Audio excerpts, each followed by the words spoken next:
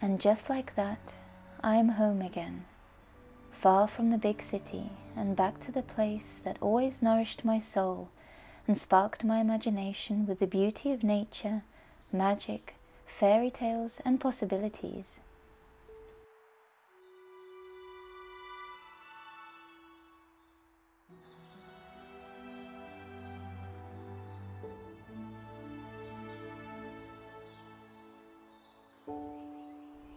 As a young child, my family moved a number of times before we finally found our home in a small place surrounded by the beautiful Welsh countryside. And although I left home at 16 to pursue my ballet career in the big city, this place has and always will be home for me.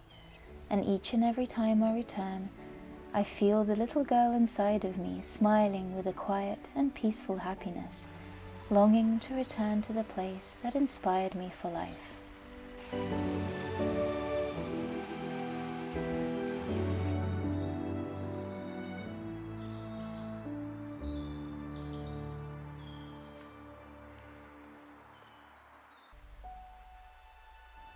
The past couple of months have been a very busy time indeed, and the days had seemed to run away in a flurry of responsibilities and work and both my body and my heart were longing for a change, to breathe fresh air, to feel the wind on my face, and to return to nature, even if only for a little while.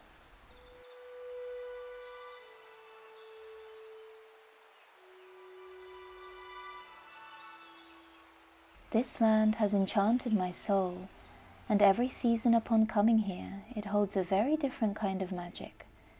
In spring, the bluebells nod their heads, wild garlic fills the air, and the fairies dance with joy as the dark days give way to the light, and the rays of warm sunshine leap through the tree branches.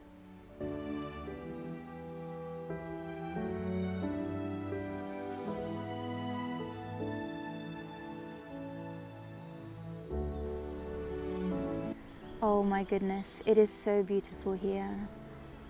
I have come home for a couple of days to just see my family and to just escape the big city for a little while and just be in some nature. And it is something I constantly crave while living in London is just to be able to come out into some real wild nature like I am here um, and just connect and so I have come out into a beautiful woodland area here in North Wales. And it is just so wonderful. And we've been blessed also with a lovely um, sunny day. And it is just so beautiful here. And everything is so fresh and green and full of wild garlic. There is wild garlic growing everywhere all over these meadows and hills and it is just magnificent. It is so fragrant and fresh and the smell is just so amazing and I'm really looking forward to picking a little bit and taking some with me to create some nice recipe with um, because wild garlic you can use in anything from soups or make a pesto with it which is absolutely delicious. And so many other things you can do um, with wild garlic. And right now it's growing everywhere in any kind of uh, natural wild area. So if you can get out into some nature and some natural area, I highly recommend to forage some wild garlic. It is really, really wonderful and so delicious. Um, but apart from that, I am just really enjoying the fresh air and just to be able to sit quietly and be by myself and just really connect with nature in the way that I really love to do and it's not very often that I can um, leave London and experience uh, nature like this properly in the wild. So whenever I, whenever I can, I really try to leave London for a couple of days and just be able to experience this. Um, and just connect in the way that I really love. Um, and just ex experience all the plants that are growing right now and that are abundant. And there's so many. Um, and there's just so much beauty. It's just really, really special.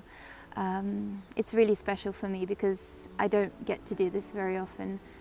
And so I think I'm just going to sit here for a little while and just breathe. And then I'm going to pick some wild garlic and take home with me. So I'll see you in a bit. Thank you.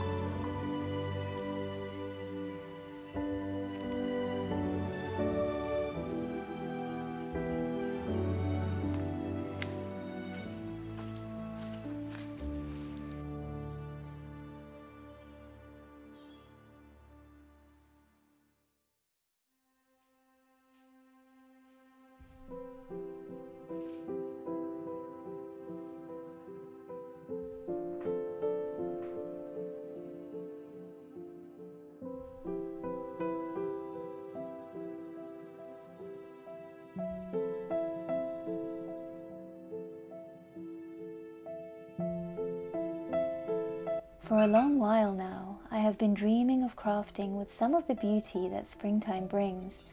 And today I'm making magnolia syrup, a favorite springtime treat that, to me, tastes just like something made by the fairy folk.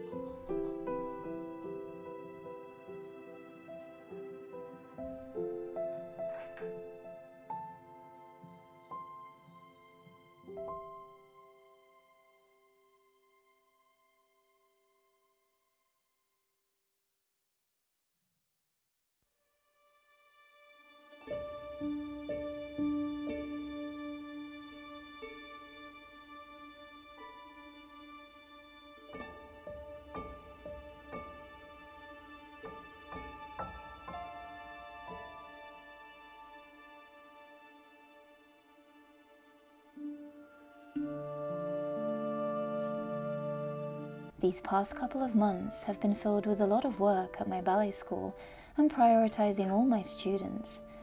It feels like only yesterday that January and the new year had begun, and yet we are already halfway through spring. The time has gone so quickly.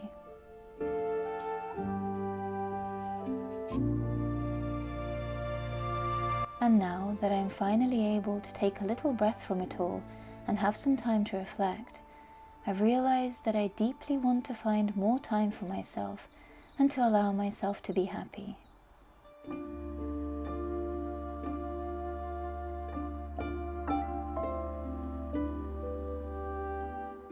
Maybe it's that I'm getting older, but I have felt that there were little changes my heart was telling me to make for a very long while. Changes to allow myself a little more time, to do more of what I love, and to learn to let go. And maybe it's that in the past I did not feel courageous enough to do so. But just like the bluebells and the blossoms that flourish with the rain and sun, I believe that we also sometimes need little changes, time, and care to flourish into better versions of ourselves.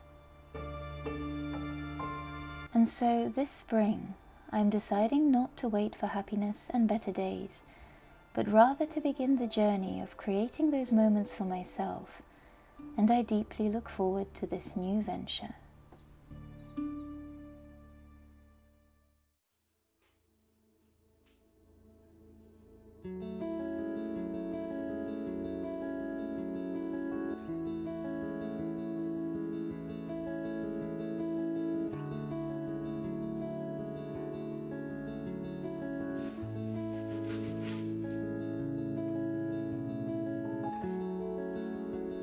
This new venture is still to come, but for now I am relishing the days spent at my family home and crafting with the wilds, something that brings me so much joy and peace, and finally I feel at one with myself and the earth around me.